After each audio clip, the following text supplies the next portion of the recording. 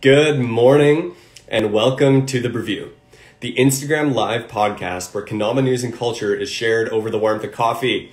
Today, Jake Wiens, the co-founder of Grain Theory and father to the Ken Garden and MC of all your favorite Kendama events, joins me to talk through the early grind of getting GT off the ground and moving, what it's like to play Kendama at the age of 37, and the fourth cup, the best method of staying caffeinated at your favorite Kendama events.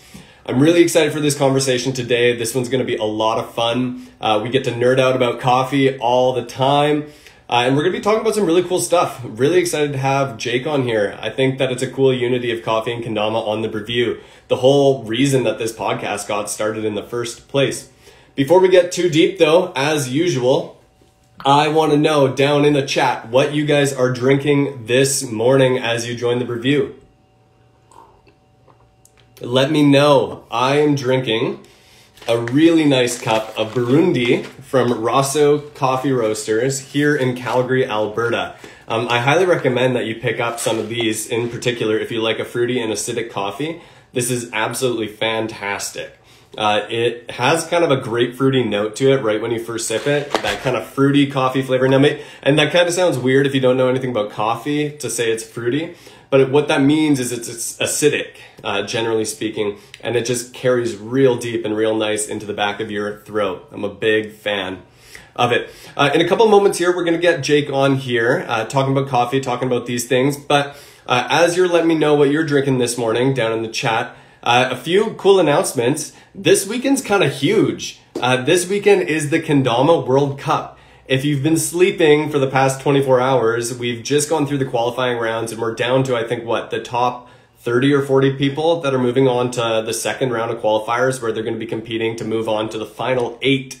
Uh, it's pretty crazy. There's some stiff competition out there and the highest scoring KWC uh, that we've ever seen so far. Now, partly that might be because it's easier tricks or tricks that have been practiced before because they're from years prior, but nonetheless, it's quite the feat. Uh, secondly, if you're in the Calgary or Alberta area, uh, one thing to know is that we're hosting a jam this afternoon at 1 o'clock p.m. down in Riley Park. We're going to have a little bit of a unity of Calgary and Edmonton there. So that's really exciting. And then lastly, one little secret note. I'm not going to give away too much here, but you might want to mark down in your calendars September 1st for review. Uh, something cool is coming out that I and some of my friends are really, really excited for uh, that we can't wait to share with you guys. But that will come a little bit later, and you will know more about that soon. Okay, let's see what you guys are drinking down in the chat. Uh, Tomo Dama is drinking a Colombian with his Kalita. Okay, rock on. Kalitas are nice. Oh, Chad coming to, yeah, 40. There were 40. Red Bull with that Norks fuel from AJ Kendama. Matt Kendama's drinking his vanilla protein shake. I was wishing he had coffee. Absolutely. Kendama's caffeinated and ready. Gucci Moon Boots is drinking some Peace Coffee Birchwood Light Roast French Press. I love it. Bish in the chat uh, is drinking Mothership Coffee roasted in Las Vegas with that French press froth. I love it. There's so much in here. Drew Manchu always with his Mountain Dew, uh, Caterade with peppermint tea and Dunkin', and official D Perches with his pour over from a local coffee shop, and Chad with the Costa Rica AeroPress. Again, there's so many more in here. I can't go through all of them because we need to get Jake in here shortly, uh, and I'm gonna send him. And let's kick off this week's Brewview. We'll just wait for him to jump in here. Guys, I'm very excited for this. To just nerd out about coffee. Also, I always drink a Perrier in the morning with my coffee because you got to have a little bit of water in your diet. Jake Wiens, welcome here, man. We made it. I had to get in full fourth cup gear. Oh, I love it. I love the attire. To make it official.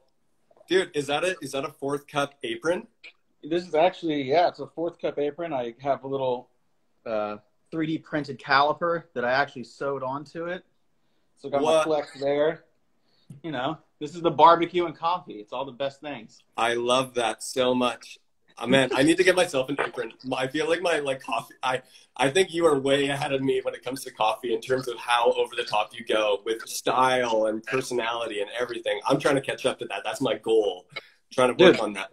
That's the barista performance, man. That's half the attraction to coffee is the dance. It's the showmanship. Um, it's it's it's one of the things that completely inspired Fourth Cup was like that fantasy of like actually like being a badass barista and like smacking stuff around and hitting grinders and blowing beans off your tamper and like going in. So, oh, I but love I am that. gonna be making something today because I'm already on my third cup. Oh, you're ahead of me. And, I'm just uh, on cup number two right now. So yeah, I've already I've, I've already had like full Chemex from this morning, and uh, so yeah, we're gonna be doing. I'm not sure if you guys can see, but we're gonna be doing a little hand pressed espresso shot here. Awesome. This Awesome. is usually the, the the afternoon go to. So Right on. Well, Jake, thank you so much for being here today. Really excited for this episode of the Brewview. As I've mentioned over and over again, I'm a huge coffee fan and I've been dying to have you on here so we can nerd out a little bit about coffee. But we're also going to be talking a little bit about kendama and GT and what it's like for you to play kendama at the age of 37 with a family. And I'm, I'm genuinely really interested in what that's like because I mean, I'm not that old yet, but I'm, I'm approaching the latter half of my 20s and it's getting harder and harder on my knees. And I just want to know. I want to know what I'm looking forward to in a few years. But oh, the um, later half of my 20s. um, as we dive in, though, I like to ask three questions to every single guest that comes on, uh, Yeah. partly for consistency, but partly because I think it's just fun. Uh, first off, what's your favorite way to drink coffee? Well, it's changed now. It, it used to be AeroPress, and now it is Chemex. And Mhm. my favorite way to drink coffee is just like out on our back patio here, out on our back porch, just having coffee alone, no music, just chilling with outdoor sounds and having one to four cups of coffee. yeah, I get that. But How many? Chemex. Chemex became my favorite quickly uh, because like I could hone it in. I got to where I could hone in that practice, and I could have two cups back to back. Where Aeropress, I had it extremely honed in, Mhm. but sometimes I would have to go back and make another one. And I was like, ah. Mhm. so Yeah, I used to do Chemex a lot uh, when I had a roommate that would drink coffee with me because we'd make, you know, uh, a double batch of it because you could do two at one time and then we could both share Yeah. the same cup uh, or the same brew. But now I've gotten back into AeroPress because I typically just make one cup for myself and then I'll make another one a couple hours later and then move move on that way. absolutely. That's awesome. So do you have other brewing methods that you do you use? So- Well, you got the French press. Well, no, this is actually it's called a Staresso. This is like an Amazon find. I remember asking you about this actually months and months ago because I saw this on your your post. Oh my goodness! So, So like this is like a hand pressed espresso, right? Yeah, it's a hand pressed espresso. It does a pretty good job. Um, it definitely gives you that crema froth top. Yeah. Um, so the other ways is definitely this is an afternoon coffee, and the other thing that I've been getting into, and some people might talk talk, talk some smack about it, but like I've been researching instant coffees and like getting trying to find the best instant coffee, Oh, and because man, there's some times where I've been grinding as dad, designing everything, and I'm just like, I need a coffee, but I'm too lazy right now to do any of the preferred Yeah. methods. So, wha- instant. Okay. Let's go. uh, for sure. And- after this episode, I I can't remember it right now, but I have a buddy who like is a coffee blogger in the city here and knows a whole bunch of brands, and he he will die on on recommending this one instant coffee. He says it's the best instant coffee you can find. So I'll I'll make sure I Gotta look you hear up. I'll send you that your Oh. way. Dude, okay, uh, other two questions. We got sidetracked. Uh, Dama related questions. What's your favorite Kendama player and your favorite Dama trick? Last three questions before we dive into the meat of this. okay, favorite Kendama player? Dang, like I gotta say, like right now it's Tio. Mm. It, it, it always changes. I also just spent like, well, a long time getting Tio's release ready, working with him on the mod, and just like seeing his play style and the way he's like going. Oh, we got a little bit of lag here. So like the, the way he's going like in his direction. Sorry, we back. Okay, cool. Yeah, uh, you're good. Yeah. Okay, so the way kind of like going in his direction, but like pushing his style has just been really awesome. So definitely right now it's Tio. Favorite kendama trick still is just I'm addicted to like simple spacewalk one turns. I Mm. have this vision of like trying to like make the golden ratio with the spacewalk one turn. So like because because if, if you were to map out a spacewalk one turn, it can form the golden ratio. So I'm always like I call it chasing the ratio. But That's cool. I expect an edit an edit of that at some point. I think Oh, that'd be aesthetically beautiful. It's definitely one of the things I want to make. So Awesome. Well, uh, we're going to dive into the meat of the conversation. I see this kind of breaking down in three functions. Uh, one, we'll talk a little coffee. Uh, we'll talk a little bit about the fourth cup. Uh, we'll move a little bit into GT and how that Yeah. all got started. And then lastly, uh, we'll touch on uh, what it's like to play Dama at 37 with a family and still yet traveling the world and having a great impact on the community. Um, sure. As we dive into that, I want to remind those of you in the chat that if you have questions that you want asked throughout the episode, make sure you put them in the Q&A tool. That's that little box at the bottom with the question mark, and I'll be sure to ask Jake as many of those as I can throughout the episode. Uh, and secondly, if you just want to add some comments to the chat or interact with others, that's what the comment section is for. I love seeing those come in, but if you want questions asked, put them in the Q&A tool. So, Jake, let's dive into this. I, I am so curious. And before we dive in, I'll actually tell a, a brief little story um, of when I think I first ran into you, which was MKO 18. Um, Yeah. I, I want to know about the fourth cup specifically a little bit, but uh, here's a little story. When I showed up to MKO 18, that was my very first Kendama event, and you were there in the lobby with your full out stand brewing coffee for people. And, and and back then, I was like moderately into coffee, like getting deeper and deeper into the specialty coffee scene.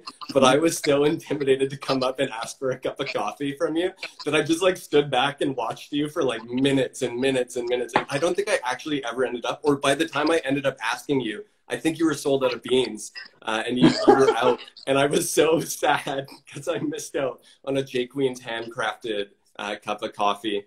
But outside of that, tell me a little bit of the story of the fourth cup. What is the fourth cup and how did it came to life? So the the fourth cup came from just like my first of all, I enjoy coffee. And second of all, it's like I'm always during live events, the the booth aspect to me is always such a big thing that I enjoy doing. So it's the presentation. Which speaking of presentation, I'm just gonna give you guys a little view of this presentation of Flaw. Yes. So there's the crema that, that comes out of Mm. so Oh, that's a good crema too. so that's gonna be my coffee during the interview. I love this. got to start off with that. So uh, it came from wanting to bring something to the presentation aspect of a booth. Instead of it just being like a booth where it's kendama is what we have, I wanted to add something extra, and I had already had this fantasy of like owning a coffee shop, and like I like I'm like a little Mm. kid playing pretend every time I make coffee, and so I was like, I'm gonna make coffee for everybody. I'm just gonna do it. I got a French press, I got an AeroPress, I got a Staresso, and I got two tea kettles. So Hmm. let's try this. And the first time I did it was at Dama and the D, and I got to just play barista, and it was just mad fun. And through that, I discovered kind of maybe a subconscious reason for it is like, whenever I'm up there making coffee, and you're able to actually see the process of it and see how much time Mhm. and like care goes into an individual cup, my goal and my thought was that's going to relate over to my designs with my products with grain theory. So like whenever you're sitting there and you're watching me like make this coffee and I'm grinding the beans, adjusting the grinder, making it to where exactly what you want. And I'm making the coffee and I'm talking about kendama Mm. and and our kendamas, it kind of in, in my mind had this like really interesting crossover. Because like how much attention we put into our kendamas is and then cause, but, but you can't really see the process of that. So i'm showing a process of coffee and the detail in that and talking about the kendamas. And there's that kind of like mental overlap that happens so Mhm. that was the really fun part about it and then i just kept going with it so That's cool. So obviously you see, and I think I, I see it as well, an overlap of culture between coffee and kendama. Yeah. Where where there's a uniqueness of craftsmanship that goes into both of them, and and so uh, talk to me about your perspective on on how coffee and kendama relate, because I think I have my own perspective that people have heard from the Brewview episodes, but but what about you? Where, So- where did you get into coffee, and was it a similar journey like kendama? Kind of. I didn't really drink coffee until I started going to university in San Francisco. And even then, it was just like, just need coffee to stay awake and finish this Mhm. project, you know? And uh, when did I really start getting into it? It was probably like whenever I moved to well, it started with a French press. A French press was my first like craft kendama maker. Yeah. Kendama maker, coffee maker. And then from there it was like, oh, how else can you do this? So it, that's kind of the correlation. It's like if you have this like personality aspect where it's like you dive into things. Mhm. So for instance, like you're into photography. I'm into photography. I get into that. I just start diving into all the Mm. gear and all the styles. Um, kendama, obviously get a kendama. Ooh, there's this one, there's that one, there's this trick, there's that trick. It's the same exact thing for coffee because there's so many different individuals that are applying their take on it. So creating different ways of brewing, uh, different blends, different styles of roasting, different origins of beans, and it's just it's a a, a vast vari- uh, variety of different styles. And it's similar with kendama, where there's so many different styles of play, so many different styles of equipment and kendamas and kendama players that it's really easy to dive into. Yeah. And and with that then, so do you do you see any of your learnings and your growth in the coffee or the specialty coffee world carrying over into your craftsmanship of kendamas, uh, particularly with GT? Where do you see the overlap of your learnings there into photography or into to the other other elements of your life?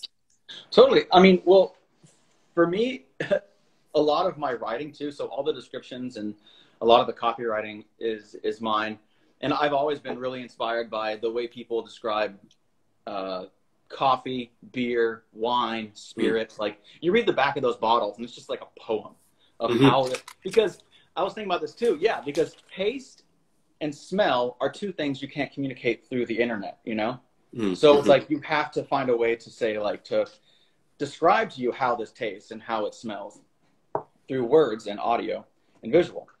And so for me, coffee really kind of and the way they they uh, uh, present coffee really taught me a lot on how to present kendamas. Even though it's like a kendama, you can't. I mean, you see it; it doesn't really have it. You don't taste a kendama.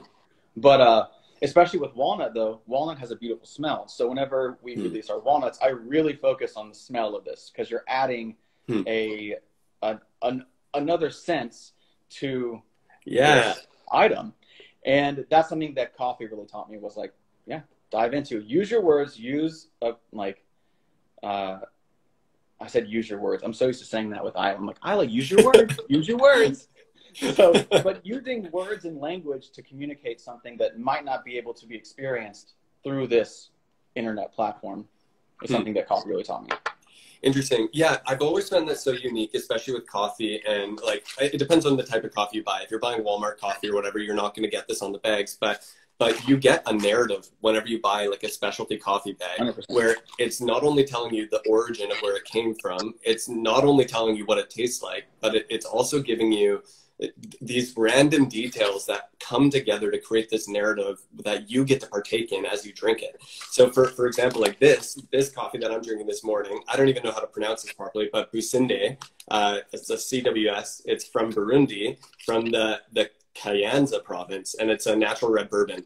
And this thing is really acidic, really fruity and floral, and and it carries all these notes. And I I can attribute that to that place in the world because that's the place in the world in which you get those things. And it's almost as like uh, it's almost as though I get to participate in it in a unique way. Similar Yeah. to I think kendama as well, especially with the GT story, how you guys invite people into a deeper sense with the kendama. Like I don't know if down to the spectraplies that you guys are crafting, like there's a Mhm. narrative that's deeper than just a kendama. And I'm really interested in hearing some of that perspective as we jumped into GT conversation. But but with coffee, what for you draws you deeper? Um, it's the it's the ritualistic aspect of it. It's the wake up every morning, make coffee, start that process, and it's so, something else that coffee has taught me. It, it's carried over into food and just almost a lot of different aspects of life. It's like if there's something you do every single day, like enjoy it. For instance, food you eat it three times a day, or you Mm. should, and uh, why not get really good at making food? It's something you're going to do every day for the rest of your life. Is Mhm. eat food. So why not learn about it and know about it? It's and, and for me, it was with coffee. It's like I'm going to do this every morning, sometimes all day, depending on the project. so it's like why Mhm. not know as much about it as I can, um, and why not enjoy it? You know, you, Mhm. I I, I try and take every aspect of my life and turn it into something enjoyable. Um, Hmm. Wow. through that, you're going to find it's going to improve your mood and it's going to just you're just going to have more fun with daily life, like stuff that I mean, most people come downstairs and put a coffee on a pot and then go and do something else. But if you just actually take that time to make that coffee, you're going to feel more rewarded for it and you're going to carry that vibe into the rest of your day. It's like with the with the lookbook that I just did for the GT Winter line or Summer line, excuse me. It opens up with the French press and me making coffee, and the whole concept was that like you start your day with a process, right? And you and you finish that process and you see it through. And after you've made your coffee, this is the representation of the process you just finished, and you carry that directly into your work. That's which why most people Hmm. make their coffee, carry their cup, sit down at their desk, because Right. it is that continuation of that momentum, um, and that's something that keeps you moving with it. Yeah, it's like you get to enter yourself into a state of flow. I don't know if you're like familiar with like Mihai Csikszentmihalyi, the the psychologist. He talks all about flow. No, I'm not from him, but I know state of flow. so. Yeah, yeah. So he's the guy who like coined flow. He was the one who wrote the and did the research on it originally. And he's all about like finding activities that stimulate a flow state for you. And for me, that's 100% coffee in the morning. It's that methodical repetition that is crafted that I get to carry into whatever my next activity is. So I love what you just said because that I think hits so hard. And for those of you listening, whether uh, it's by podcast or by live, like think about that in your own life of ways that you can stimulate a place of flow that carries into your other activities, whether or not it's work, kendama, coffee, family, play. Doesn't matter what it is, but getting yourself into those states is going to carry forward so strongly into the rest of your activities. hundred percent. That said, ah, man, I can talk about coffee for a while. I, I want to hit a couple quick questions for you uh, before we move on to a little bit of a GT conversation. Some from the chat uh, and some that were submitted ahead of time. Um, a couple guys were asking, and I think it's a broad question, and I don't know if there's a strong answer that any true coffee lover can give. But what's your favorite roast? Or maybe I, I would ask it differently. Where, what's your favorite origin for coffee? Origin is definitely Ethiopian. Okay, I'm why? Fan. So like, I just like the the the way it it it has a it's a light roast first of all. Well, for for the Ethiopian that I get, and Sure. Yeah. also it's just I don't know how to explain it. It's it, it kind of transcends between like a it, it's a lighter in like its texture, but also it like fills your mouth up. It hits like back here a little bit different, and Mm. it's like it's it's it's more citrusy. The the berry notes and everything in it are like what I like Mhm. now. So, and again, Mm. it always shifts back and forth. Like I'm also the guy to be like, oh, there's a shitty gas station. Let's go get some some gas station coffee because Yeah. it has its own appeal when you're on a road trip. It's like, oh, It 100% does. I want a styrofoam cup with some whatever burnt. Nah, actually, anything but burnt coffee. I, Yeah. One thing I can't do is burnt coffee. It can be the weakest coffee in the world, and I'll still be like, oh, but it's gas station coffee. We're on a road trip. And it just uh, hits right, right? Yeah, it hits right. But at home, it's it's an Ethiopian origin bean, a lighter roast, and uh, I really enjoy the coffee from Newport, which is up here in Evanston, Illinois. So Awesome.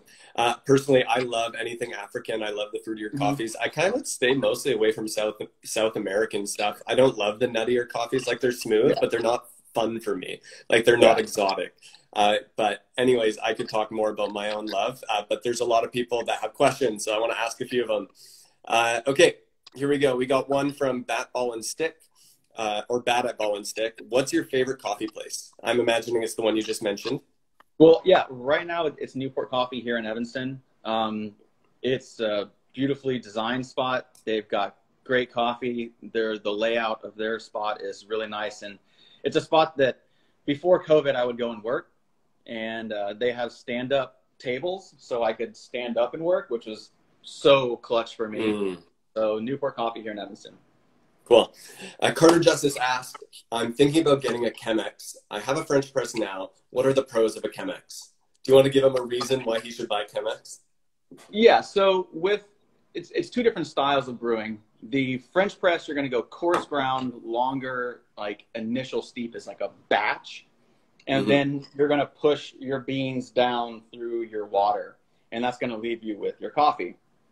Um, I always found it to be much more uh, for the French press. it's much of a lighter taste. It's not as full. And with a Chemex, you go a little bit more fine and you can really kind of hone in your, your drip your, because you're just pouring the water through the beans. So you're going to get a much more robust, flavorful cup from a Chemex. Mm, Yeah. mhm. I honestly, I don't even mess with French press anymore.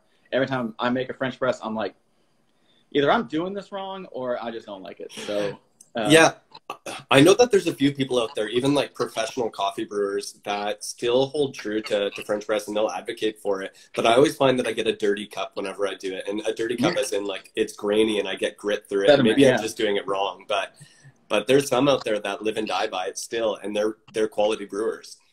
Uh, okay, uh, Brett Walters or Boston W asked, "What's the best way to make iced coffee with his French press?" Another French press question, but maybe you got a quick quick answer for him. I have no idea. I honestly don't. I, whenever iced coffee, it's on accident. It's a, it's a, it's a pot of coffee that's been sitting around, and it's cold now, so I add ice and milk. Um, or I do, or Cool. I've, I've done cold brew ice, but I've never really done much with a French press and iced coffee. So sorry, I don't have much insight on that. Cool. Okay, uh, two more questions, and then we'll move on to a bit of the GT conversation. There's a lot of coffee questions in here, which is awesome. We can save Yeah. them for the end. Um, Coach Moni asked, favorite process, washed or natural? Mm. Okay, I just went from a wash to a natural. So there's two Ethiopians from Newport. There's Ethiopian natural and the Sidamo. And I don't. I mean, right. I keep going back to the Sidamo, which is a wash. So I'm gonna have to say washed. Okay, Definitely. I can't. I can't point out exactly why. Um, they both have different. I I have to do a side by side because usually it's like I go through a whole bag of of, Yeah. of natural, and then it's like I go back and they've got the Sidamo in, so I get that one. But Okay, well, maybe at your next live event, uh, we should host a cupping where people Mm. we can we can brew a couple, get a couple people in, do some reviewing. I think it could be a lot of fun. Uh, okay, last question. This one is from a close friend of yours, Haley Bischoff. She's asking, Yeah. Jake, remember the Froth Tour 2015, 2016? Anyways, what was your favorite part of the Froth Tour, and can we plan? And I can't read the rest of it, unfortunately. Or can we Okay. plan a Froth Tour Volume Two? So my, my favorite part about Froth Tour was just how loose it was. It's like What? It first me- what is it? Okay, so it was me, Yord, and Haley, and we were the coffee nerds of, of the crew, and we always had our AeroPresses, and we would just called any kind of coffee was called froth, and we would just send each, each other pictures of froth, and uh, so we're like, oh, let's just do a tour together, and we're like, what do we call the tour? We're like froth tour, why not? Uh, but so we did kind of all around the Bay Area. And my favorite part of it was just how loose and fun that tour was. It's like the name just set it to be like, what the froth tour doesn't make any sense. So we were able to kind of like just be crazy. But it, it did start every morning with with making that coffee. Is there is there a YouTube series of it? Because I don't, I haven't. Found it. No, there's not. There's definitely some like flyers and images probably. Okay. Um, That's but- cool. That's awesome. Um, And yes, there needs to be more froth tours. You know what? Uh, the froth challenge has started surfacing recently. Chad Mhm. Covington started tagging people in in his Aeropress shots in the morning and tagging Yeah. people saying froth challenge. You got 24 hours. So, uh, you know, those of you in the chat or on, on listening on podcast platforms, maybe go take a picture of your morning coffee. Start tagging three friends and challenge them uh, to to brew their coffee Yeah. and take a picture of their froth. Um, okay, that said, uh, let's move to a little bit of the GT conversation. I know a lot of the people that are listening and tuning in want to know more about GT.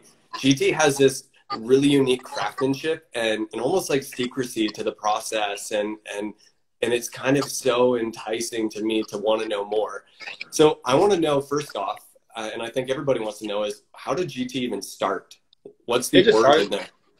it just started from Rice and I wanting to do something in California, and it was just like at this point everything was China made, and China was still learning how to make kendamas on this level. Like we kendama was evolving faster than China's manufacturing was able to like keep up with quality and precision. Mm. And so there was this moment where like a lot of the big companies would get batches and there would be a massive amount of them that were just unplayable because they were just so out of whack. And we were like, damn, this is like all a communication error. It's it's communications, communication. So like we want to make them in the US And we spent a long time trying to figure it out. And then Rice was just like, hey, man, I'm starting this one way or another. You enter, you out. And I said, I'm in. Let's go.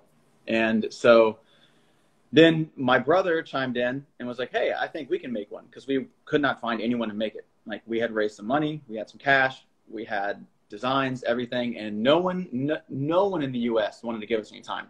So my mm. brother Eric and his buddies started RWB, which started making the 1st mm-hmm. American-made GT Damas, and then it's just evolved from there. And it, it, it basically came from the uh, unwillingness to surrender, in a sense, and just be like, ah, we're over it. Like if you try long enough, sometimes things just kind of come your way. And in this time, mm. and in this sense, uh, Eric and his homies totally met the call for making kendamas in the U.S. So, hmm. and so you originally partnered with RWB, uh, and so where is that at now? Are you still working with RWB for manufacturing? No, so, so RWB dissolved a few years ago, actually. Okay, no way. I and, have uh, I have an RWB sitting somewhere in a box yeah. in my house. Yeah, like as a company, as a manufacturer, everything. Um, and so the manufacturing since then went to somebody else, and they've been learning, doing a great job, and they've just been crushing it with with the production. Still run by Kendama Player, and uh, so it's doing great. And we're continuing to push out stuff and create things to the scale that that that, that we find acceptable. So totally so yeah you you guys have a, a, unique business model from my understanding in that you're partnered with matt rice but you're on totally opposite ends of the country uh, it where didn't start like that. We were both. So yeah, tell, tell me a bit about that. Yeah, that that that's just family family life moves. You know, it's like uh, Rice and I are both skate, bike. Sorry, just got a battery note.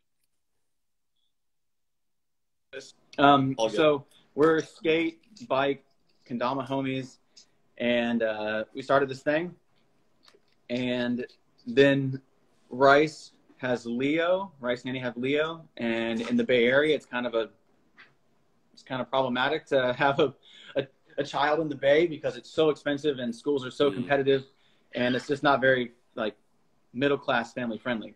Mm-hmm. So he moved to Portland and went up there, has this thing going there, and then I started my family and moved to Illinois, and so now we're here and Rice handles uh, all the back end, all the shipping, all the incredibly fast shipping and packaging and mm-hmm. storing and ordering and stuff. And then I handle all things creative, visual, marketing, product design. So, cool. Yeah, and it, it works out. Yeah, and and you so so you're obviously in two different places and it's been working out now but you originally were close to him and when you started at gt you were still uh, playing for kusa is that correct yeah so what's the story there a little bit from Kusa to GT and some of the overlap there? Because I imagine that that would have been a unique conversation uh, with the owner of Kusa uh, from having one of his own players start a, start their own company. What was that like? I mean, yeah, yeah. This has been a question for a long time, um, and it was just the goal was there was never going to be any competition because our kendamas were USA made, hundred dollars, like mm-hmm. 130 at that time too, and it wasn't really going to in, impose on the like 25 30 dollar dama market. And it was just something where i was like i'm just going to keep doing this. I'm going to be the owner of this and i'm going to be a pro for you. So like if you go back during those times like i personally never really promoted gt because i was a kusa pro. And then it just got to a point where i just needed to go full gt because we needed to make some moves and it was no longer about being pro. It wasn't no longer about labels. It was about family goals and mm. I needed to be able to accomplish my goals and I needed to make the move to go full GT so I can really go full towards my goals and that meant mm. leaving Kusa. Yeah, and, and then there's something to be said about just having ownership over something rather than being being not owned, but sort of being owned. Is that you had full creative freedom moving over to GT, especially as creative lead there. Yeah, and well, so like, yeah, and was that an incentive I, for you? Yeah, like I I always had full full creative freedom with GT, but this was this allowed me. But I was also doing creative for Kusa, so this hmm. allowed me to really streamline my ideas and just kind of like, all right, instead of going this oh who is this good for, it, it enabled me to streamline my creative process, and therefore put more effort into projects that mattered. So. Hmm. Hmm. So GT's been going now for a little while. You guys have obviously made a lot of changes. You've added some new members to your team recently. Mm-hmm. Teo's a huge addition. I love him so much. I love his style. I think that was probably the, one of the best pickups of the year for a pro announcement. I'm stoked on that. Uh, what do you see as next for GT? Where's the progression of GT leading us? Uh, the progression of GT is is we're about to do a lot of we're about to make some moves that haven't been done in Kendama yet, and we're about to just kind of shake up Kendama hierarchy, I guess you could say, hmm. um, if that's a little hint. But I guess I just want to continue to m- make Kendama related products that support.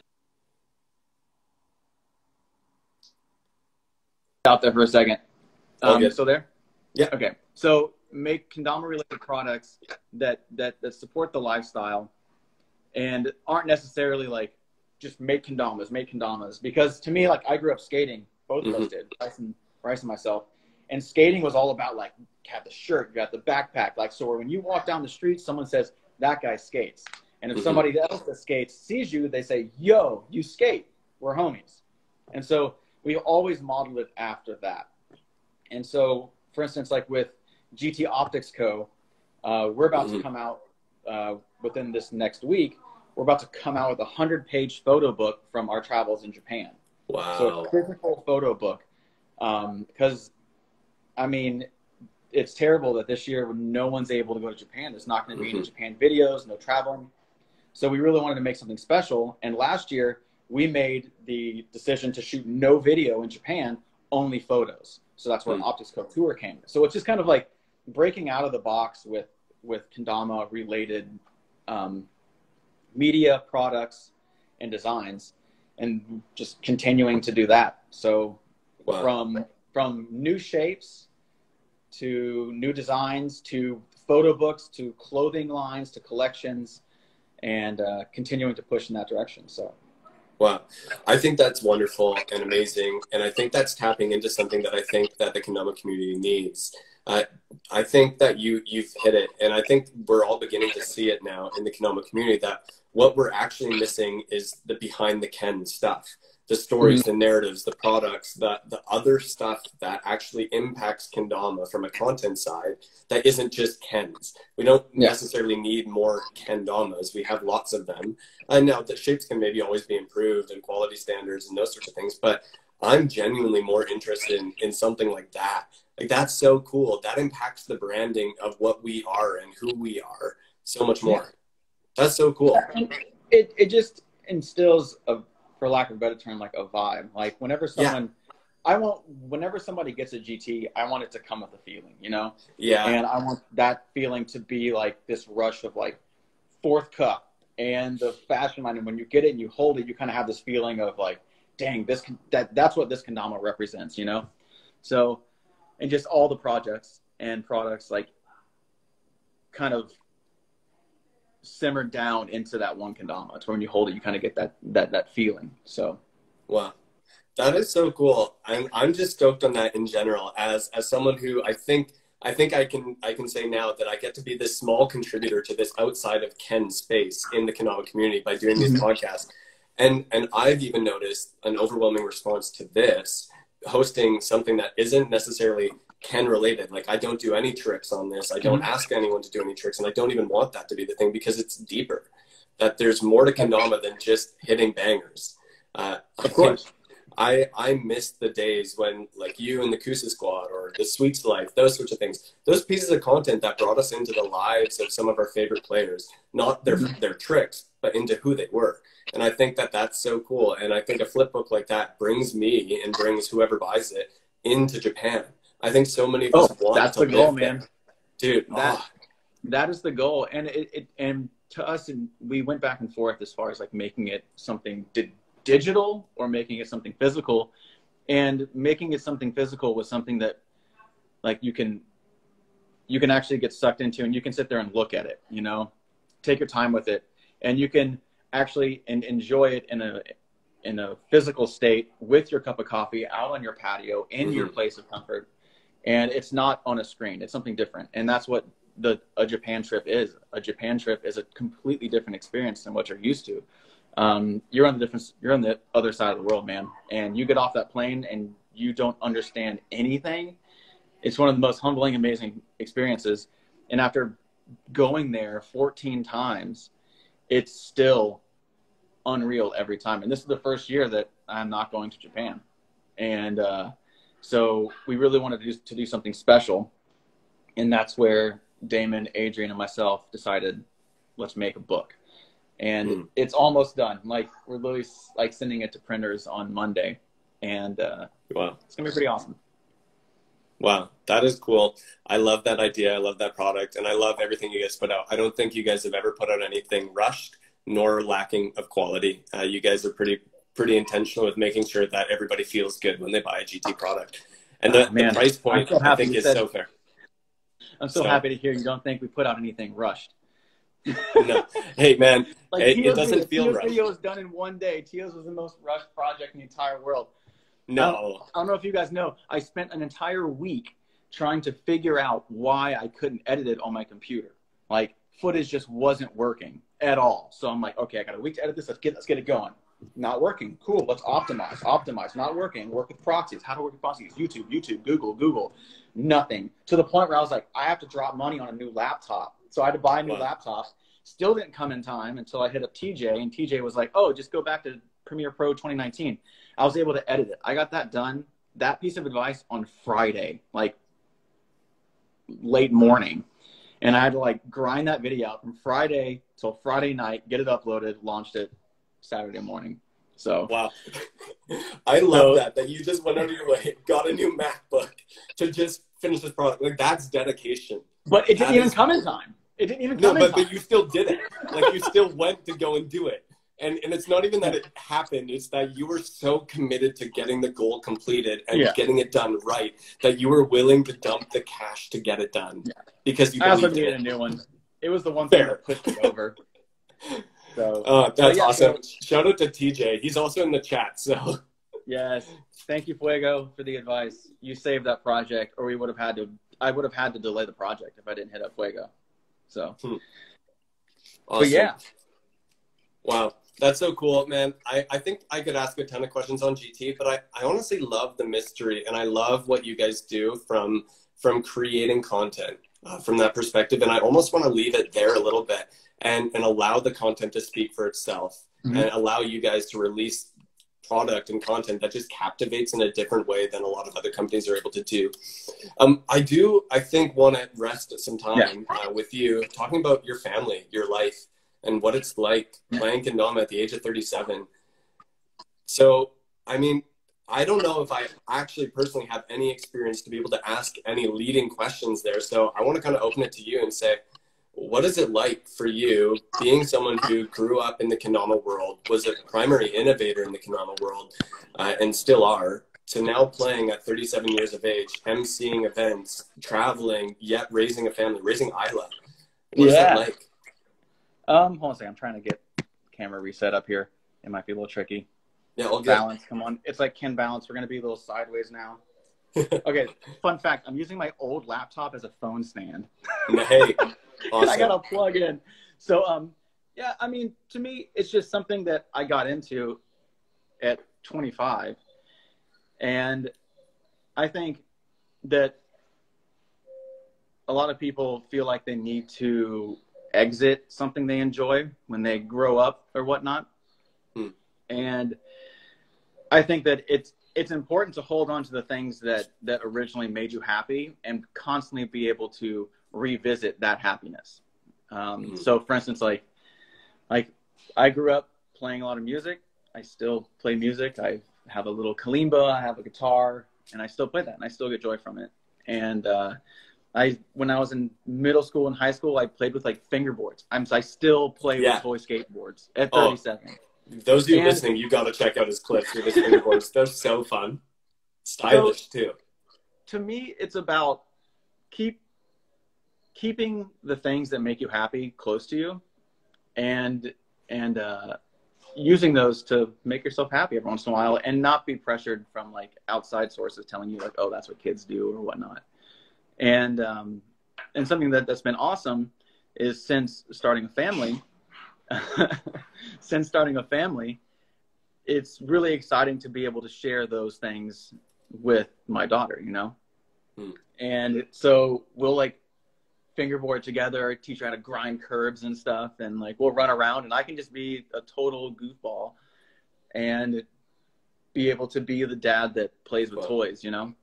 So it's really exciting to be able to to raise a child with this love for toys, you know. So Hmm.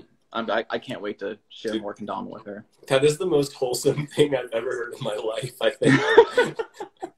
I love that. Um, how how old is Isla now? Isla's two. She turned two this past Monday. Okay, So she is freshly two years old.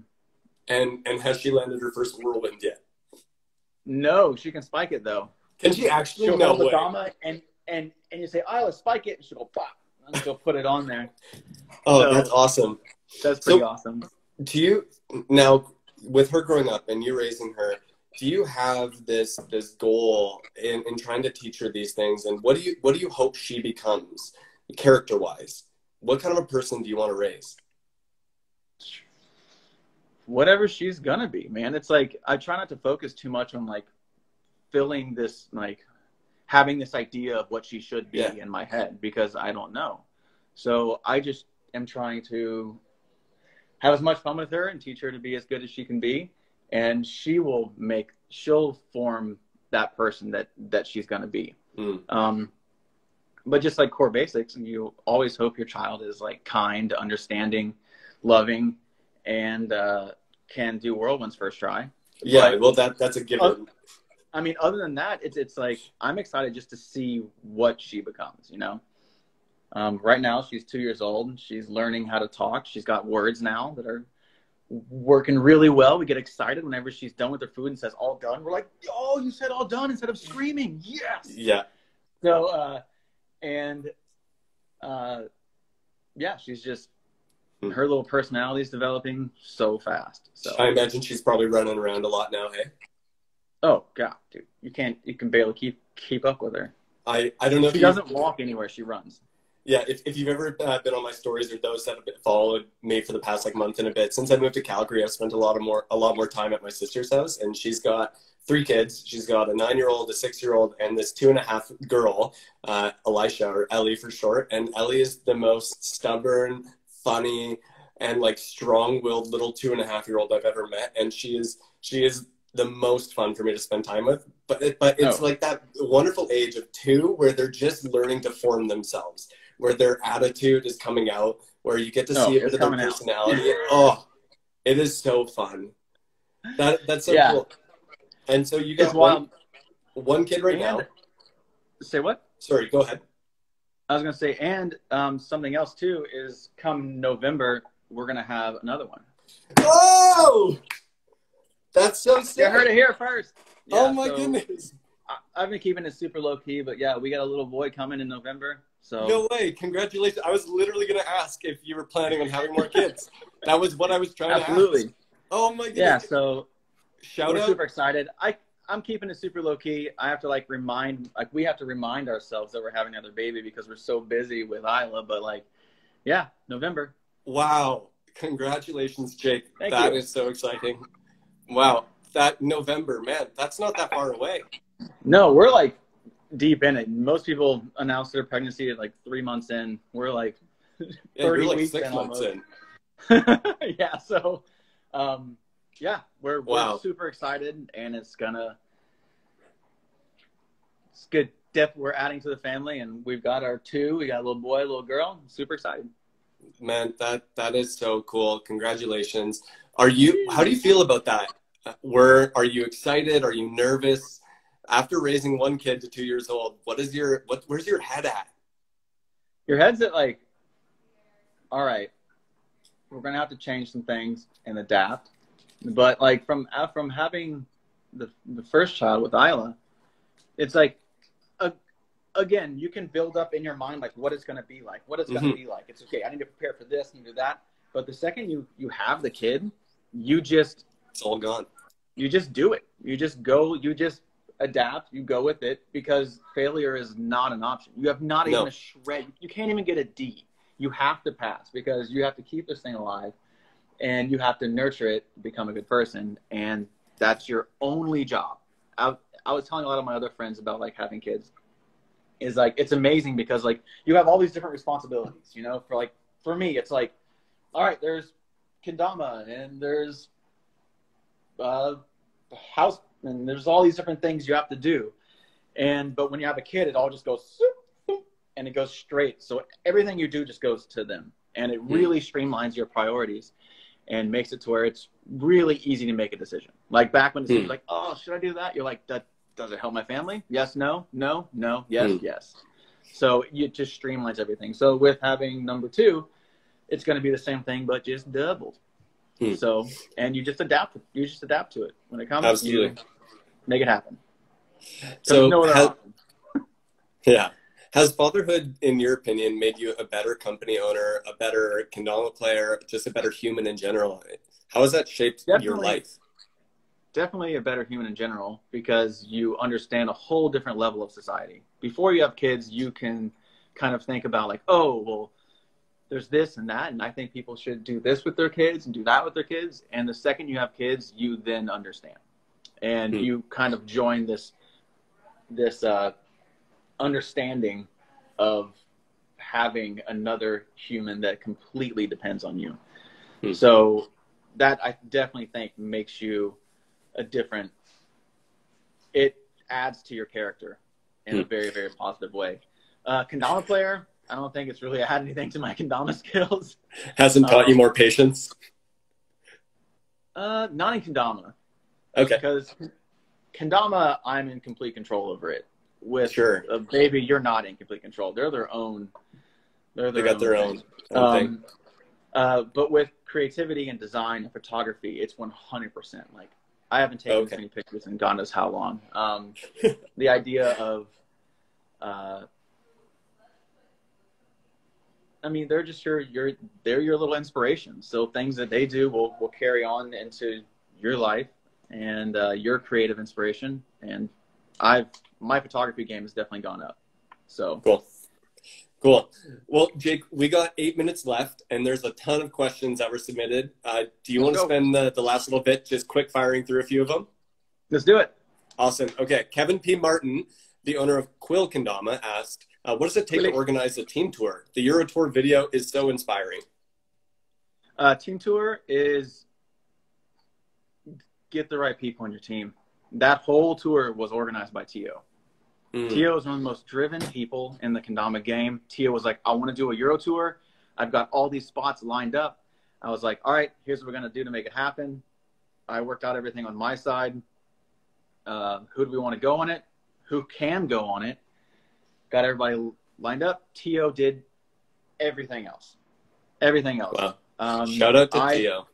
yeah, shout out to Tio. And that's one of the things that makes you a professional, man, is like it's beyond those tricks. And like Tio's tricks are already next level, but it's that drive and that and, and that Yeah. that willpower. It's more than say, just like, the I want to make a tour happen. And Yeah. you make a whole tour happen. So and then you Yeah. pair that up with with Damon and Ben Harold, and you have a dream team. And then So me good. and Stod come in later. We're the laggers. They come in later at the Copenhagen stop, and you've got the you've got the band, man. Band's back together. So awesome. Uh, the right people Lathan, your team, and and uh, and have and work with work with them.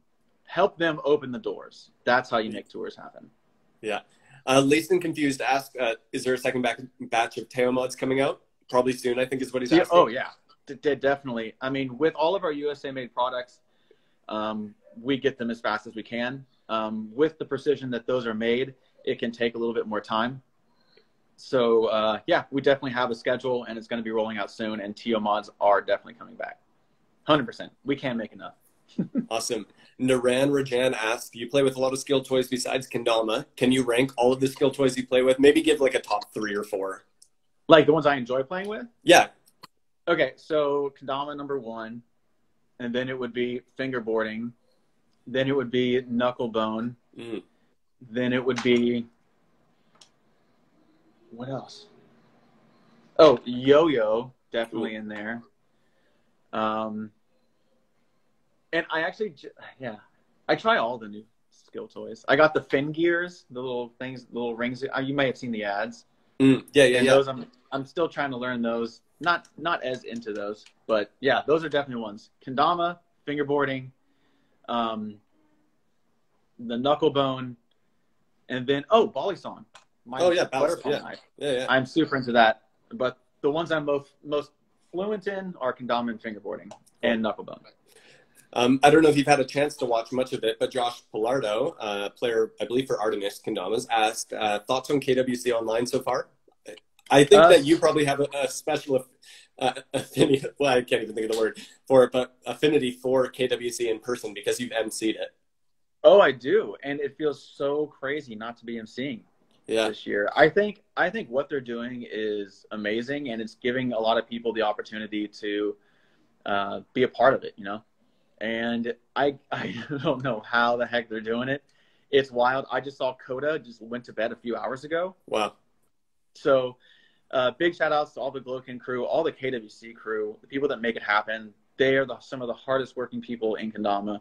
Mhm. But I'm really excited. I I see Nobu and Ryan up there, and I'm like, yeah, God, I just want to be Yeah. with them right now and seeing. But uh, it's actually kind of nice to kind of take this year off um, and get back to it whenever it's another physical thing to kind of be that part that kind of adds a little bit a little bit to it. So Cool. I'm I'm really stoked to see him pushing through with it. All right, let's try and get through four or five more real fast. Uh, Ezra Dama asked Jake, uh, "How's the meat pulling going today?" The what? Meat pulling? Meat pulling. Oh, I'm not. I, I'm actually not pulling anything. I just made some flank steaks the other day. That was Ooh. really nice. And then took those, made some tacos with it. But Nice. yeah, the next thing I'm I'm wanting to do is definitely some more pineapple steaks, which we can Mm. talk about that later. But yeah, pineapple steaks. that's a whole other realm. Oh, so good. Uh, Brett Walters asked, uh, "How has rollerblading influenced kendama for you, and vice versa?"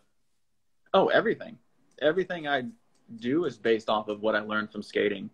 And it's not only the tricks, like I want to play Kendama how Dustin Latimer skated, but it's also I want to I'm so influenced by like Senate, Mind Game, um, classic like Rise Above, like all of the old skate brands are some of my main inspirations for what I do with my clothing lines, my product designs, um, ev- everything. So Hmm. skating, I uh, I owe everything to Eight Wheels. So Cool.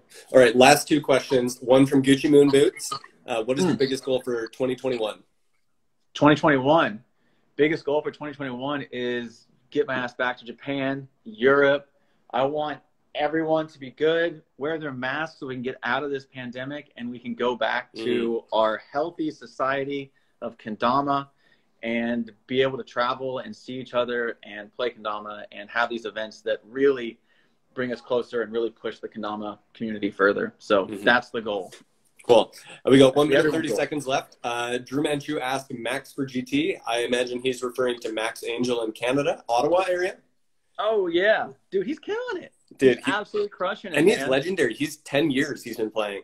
His story's Dude, really he cool. has a KG jersey. I saw that, the old KG jersey, the Well- classic vintage, and I was like, You just wait What? till September 1st, and then and then there's gonna be some coming out, and you'll want to read it. And Max has something to do with it. So, uh, Yeah. little teaser there. I'm I'm watching everybody, and I'm definitely watching Max. So Awesome. Hey, Jake, thank you so much for jumping on the Brewview today. This has been a huge treat for me, a pleasure for, I think, everybody that's been tuning in. We got to nerd out about coffee, nerd out about Absolutely. GT, nerd out about family life as well. I think you gave some really cool insight into to the longevity of playing kendama and how it shapes our lives outside of just tricks.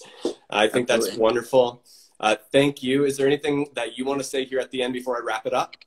Uh, yeah, thanks everybody for coming out, checking it out. Thanks everybody for playing kendama. Thank you for hosting this. This, this is a really cool uh, way to talk about kendama, and it's it's through the love of coffee and all things connoisseur.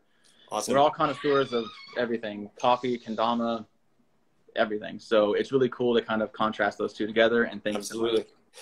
All right, we got 18 seconds. Last couple things. Those of you that are tuning in, make sure you share this afterwards so other people can find out about this episode. It's going to be uploaded on Spotify, Apple Music, Google Podcasts, you name it. So make sure you go and share it there as well. And thank you for tuning